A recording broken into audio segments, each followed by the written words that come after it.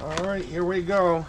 We got a big snowstorm coming, so I need to start getting ready for the uh, for the winter.